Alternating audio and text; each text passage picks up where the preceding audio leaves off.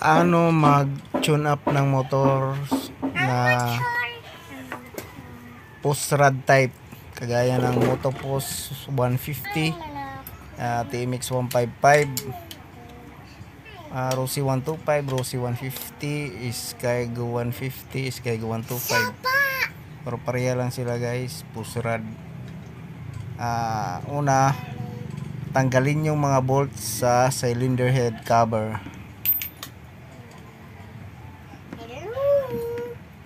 may tatlong bolts dyan. Tanggalin yung tatlong bolts para matanggal yung cylinder head cover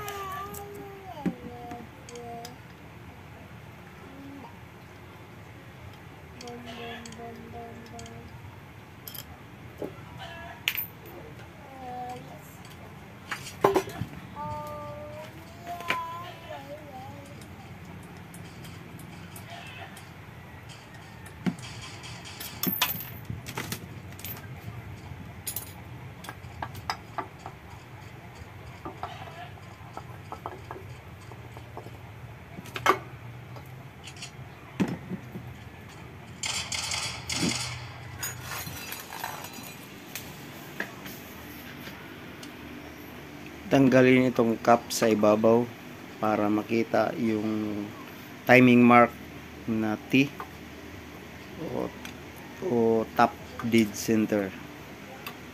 At tanggalin din yung cover dito ah, para maikot yung flywheel.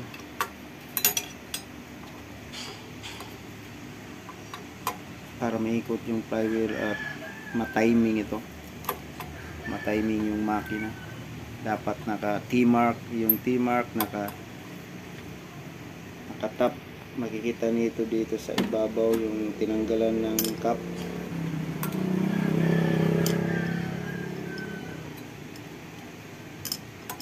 tanggalin yung apat na bolts. Gamit ang 8mm uh, T-wrench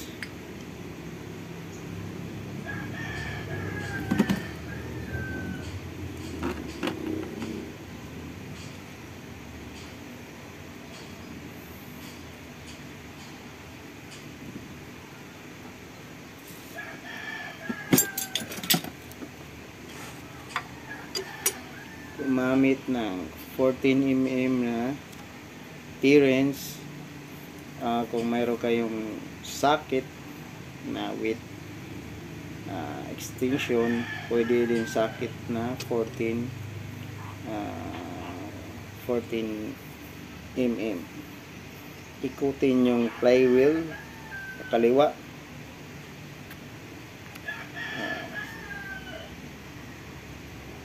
kaliwa counterclockwise. At itapat yung T-mark dyan.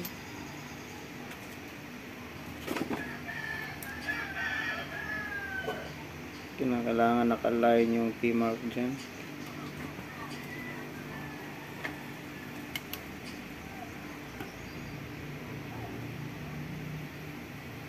Meron niya makikita yung guhit yung T-mark ipagitna nyo lang dyan.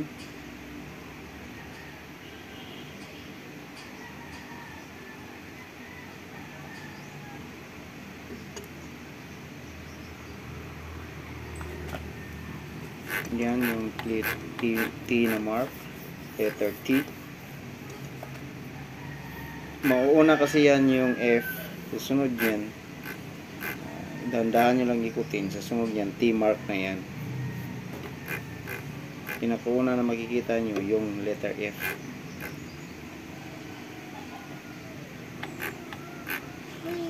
Kapag nasa top na yung T mark para malaman na naka-timing na yung makina o naka-top dead center na uh, ang technique dyan galaw-galawin mo yung flywheel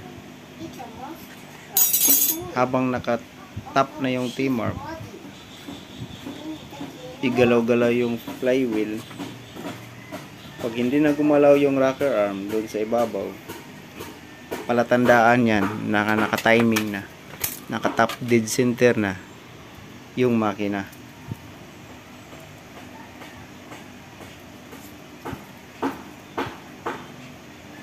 Kagaya niyang ginagawa ko.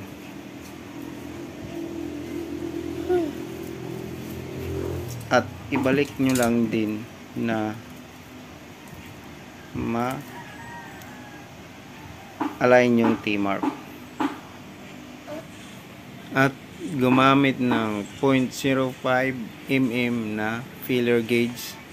Ah, pag ganito kasi mga push rod type, ganitong klaseng motor, ah, 0.05 ang ginagamit ko. Ah, pareha sila ng gauge. 0.05 mm. It's so strong.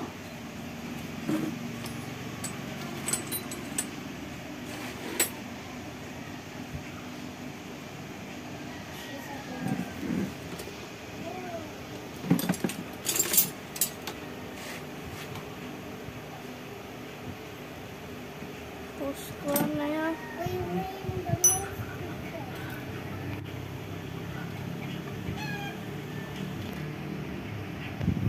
Ah, luwagan yung tappet screw. Like some wheels and tires. Ano, to the mud. Stop, stop, stop. Ano, it's at ibalik ito sa pagigpit para sa tamang ah, sukat ng gauge. Unang-una, yung nut ng Mini, ah, tappet screw. Luwagan muna para maikot yung ah, tappet screw. At i-adjust natin ito sa kaparihan ng gauge na ginagamit natin na 0.05 mm.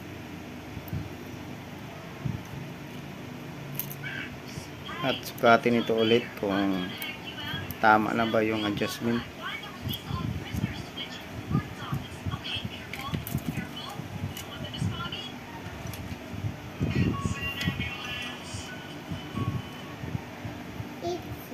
Doon naman sa intake, luwagan muna ang tappet nut.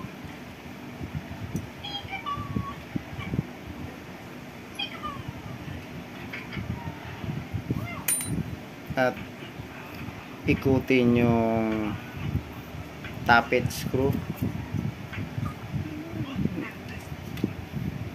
para dun sa ah, tamang adjustment niya na 0.05 mm din.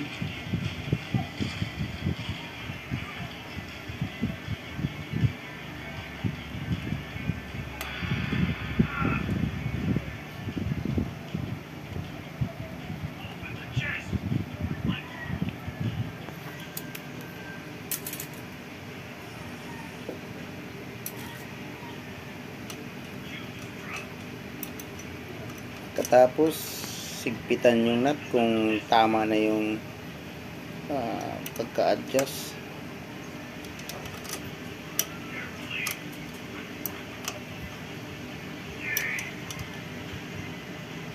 Kung wala kayong gamit niyan guys, yung ginagamit ko na pang Alcontra, pwede rin gumamit lang kayo ng ah, long nose. Ah, kumbaga pang Alcontra doon sa tappet screw.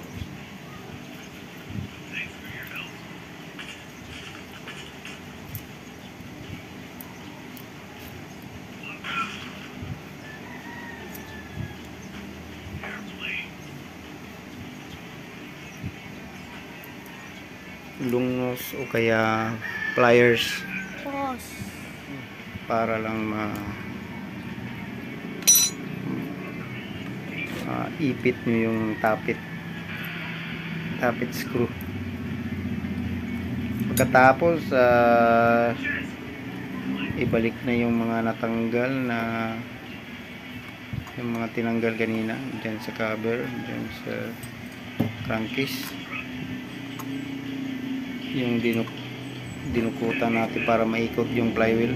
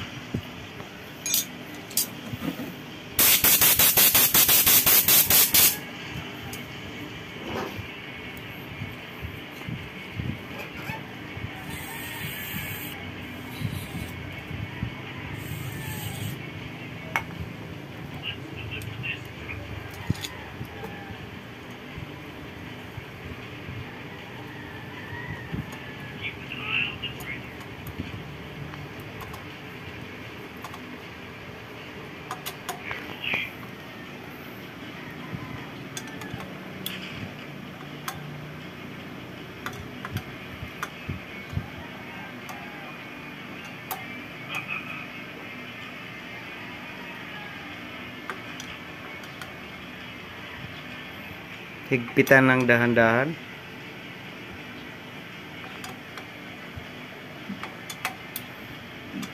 Kung maari, ah paikis mo muna itong gawin. At dahan-dahan lang yung paghigpit. Yung position niya, kumbaga paikis. Unahin nyo dun sa taas, dito naman sa baba paikis. Ibalik yung cup.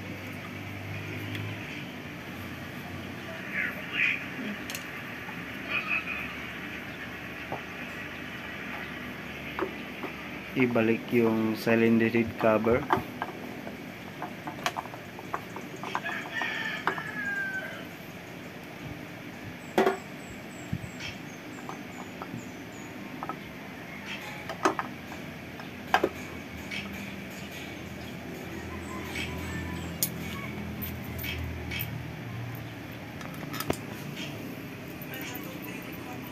Ibalik yung mga bolts nito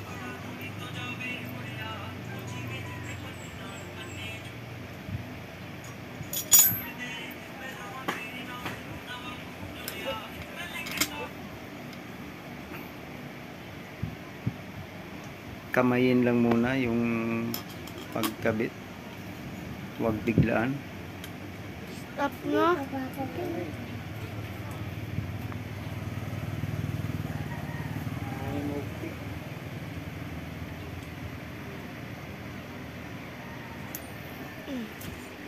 Push ba? Ayun na lang.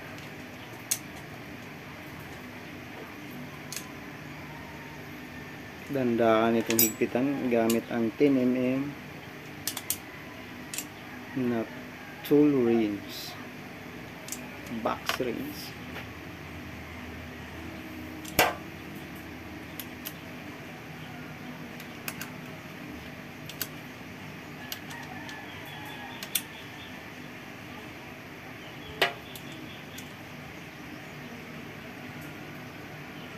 Stop ko na ha. ayan. Ah dandaan na raw. Tapos na okay na. Okay tayo guys. Ayun lang. Yun lang yung mga technique ng pag